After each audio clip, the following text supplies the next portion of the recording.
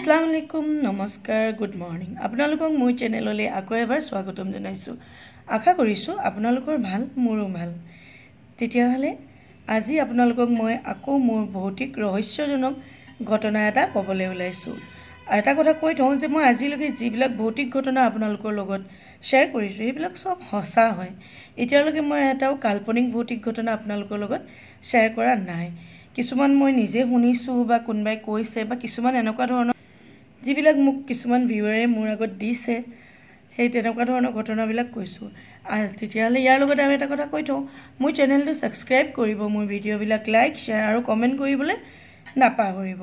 আৰু যদি আপোনালোকৰ লগত কিবা তেনেকুৱা ধৰণৰ ভৌতিক ঘটনা ঘটিছে সেইটো মোলৈ পঠিয়াব পাৰিব মোৰ ফেচবুকৰ হেৰিটো দিব পাৰিব মেছেজ কৰি নহ'লে আপোনাৰ মোৰ মেছেঞ্জাৰো দিয়া হ'ব মই ডিছক্ৰিপশ্যনত সেইকেইটা দি দিম তাতে আপোনালোকে মোক ধুনীয়াকৈ ষ্টৰিটো কৈ দিব পাৰিব।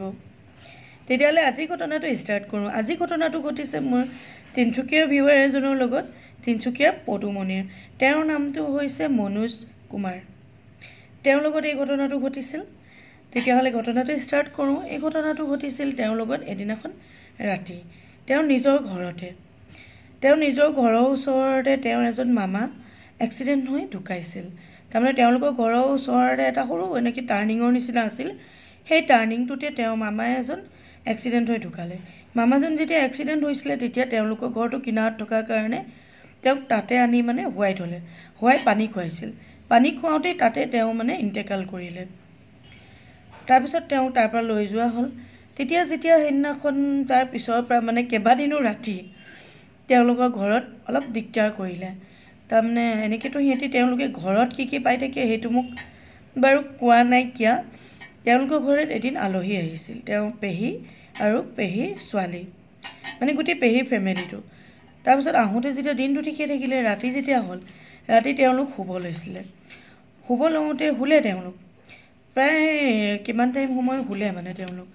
যেতিয়া মাজনিশা হৈ গ'ল প্ৰায় ৰাতি এটা বাজি পাৰ হৈছে এটা দহমান বাজিছে। সেইটো সময়তে তেওঁলোক যিটো ৰুমত পেহীহঁত শুই আছিল সেই ৰুমটোতে সেই মামাজন যিজন মামা এক্সিডেণ্ট হৈ ঢুকাইছিল তেওঁক আনি মানে সেই ঢুকুৱা আগৰ সময়খিনিত ৰাখিছিল পানী খুৱাইছিল। সেই খিৰিকীখনত কোনোবাই যেন মাৰিছে এবাৰ মাৰিছে এবাৰ মৰা নিচিনা লাগিলে। তাৰপিছত পেহীহঁতে গম পালে যে কোনোবাই মানে এবাৰ খিৰিকীখনত মাৰিছে। তো তেওঁলোকে ভাবিলে কিজানি ছাগলী আছে ছাগলী হ'ব পাৰে মেকুৰী হ'ব পাৰে বা কিবা হ'ব আৰু ইমান নাভাবিলে। গ'ল তাৰপিছত আকৌ এবাৰ মাৰিলে অলপ দেৰি পিছতে। সেইটো গ'ল। তেনেকৈ মানে প্ৰায় মাৰি আছে। মাৰি থাকোঁতে মাৰি থাকোঁতে এবাৰ এনেকুৱা লাগিলে যেন কোনোবাই মানে খিৰিকীখনত আঁচুৰ মাৰি দিছে তাৰপিছত তেনেকৈ তেনেকৈ মানে প্ৰায় আঁচুৰটো বাঢ়ি বাঢ়ি গৈ আছে চাউণ্ডটো বাঢ়ি বাঢ়ি গৈ আছে। তাৰপিছত পেহীৰ ছোৱালীজনীও তাত শুই আছিল। তাই খিৰিকী কিনাৰত হৈছিল তাই মানে যেতিয়া আঁচুৰটো বাৰে বাৰে শুনি আছে শুনি আছে শুনি আছে শুনি থাকোঁতে তাই সৰু আছিল। তাই ভয় খাই একে জাপতে মাক আৰু জেঠাইক লগত শুই আছিল তাৰ মাজত আহি শুলে। মাজত আহি শুওঁতে তাই মানে কৈছে মই এতিয়া এইটো ৰুমত কেনেকৈ শুম? তাই মানে খুব ভয় খাইছে। ভয় খাওঁতে তাই সেই যিজন তাৰ মামাকৰ ল'ৰা আছিল মনোজ মনোজে গৈ গোটেই ঘৰৰ বাউণ্ডেৰীটো চেক কৰিছিল দা এখন লৈ গৈছিল লগত। তাৰপিছত তেওঁ ক'লে যে না তেওঁটোক একো দেখি নাপালে। তাৰপিছত আহি তেনেকৈ শুই থাকিল। তেতিয়া মানে পিছদিনাখন তেওঁ কৈছে যে এই যে মামা ঢুকাইছিল যোনদিনাখনৰ পৰা মামা ঢুকালে সেইদিনাখনৰ পৰা এইটো ঘটনা হৈ থাকে। তেতিয়া লগতে পেহীয়েকে মানে ৰাতি নক'লে জীয়েকে ভয় খাব বুলি। তেওঁৰ মনোজৰ পেহীয়েকে ক'লে যে মানে তেওঁ ৰাতি কৰুণভাৱে কোনোবাই যে কান্দিছে সেই কণা মাতটো শুনিছিল দূৰৰ পৰা নহয়। খুব এই খিৰিকীখনৰ কিনাৰৰ পৰাই যেন কোনোবাই কৰুণভাৱে কানি কানি কানি কানি হেৰি কৰি আছিল। মানে খুব মানে তেওঁৰো বেয়া লাগিছে শুনি কিন্তু ভয়ো লাগিছে ইমান ৰাতি কি হৈছে। কিন্তু যদি তেওঁ সেইটো কথা কোৱা হ'লে তেওঁ ছোৱালীজনী গোটেই ৰাতি নহ'লে হয় বা তাইৰ মনত কিবা এটা ভয় সোমাই গ'ল হয়। সেইকাৰণে মানে এনেও ভয় খাই আছিলে।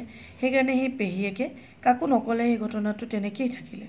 তাৰপিছত পেহীয়েকে ৰাতিপুৱা ক'লে যে এনেকুৱা এনেকুৱা হৈছে আৰু তেতিয়া ওচৰৰ মানুহবিলাকেও কয় তেওঁলোকেও মানে সেই কৰুণ কণাৰ মাতটো শুনে। যোনদিনাখনৰ পৰা সেই এক্সিডেণ্টটো হৈছে সেইদিনাখনৰ পৰা সেই কৰুণভাৱে কণা মাতটো সকলোৱে ওচৰৰ মানুহে শুনে।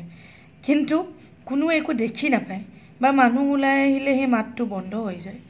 সেইকাৰণে তেওঁলোকে যোনেই য'তেই চাওক কোনো একো দেখি নোপোৱাৰ কাৰণে সেইটো এটা ৰহস্য ৰহস্যই হৈ থাকিলে।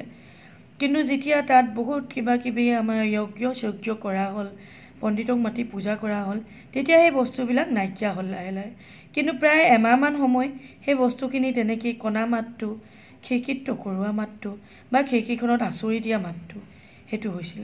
এবাৰ ভাবি চাওকচোন আমাৰ কাৰোবাৰ লগত যদি সেইটো বস্তু ঘটে আমি কি কৰিলোঁ হয়? আমি জানো ভয় নাখালোঁ হয়।